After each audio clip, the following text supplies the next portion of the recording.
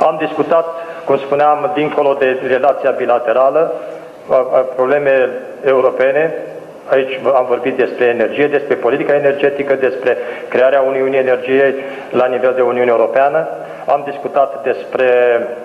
uh, probleme cu care ne confruntăm în momentul de față la nivelul Uniunii Europene și nu e niciun secret, cunoașteți dumneavoastră foarte bine, vorba în primul rând de fenomenul migrației și amândoi am fost de acord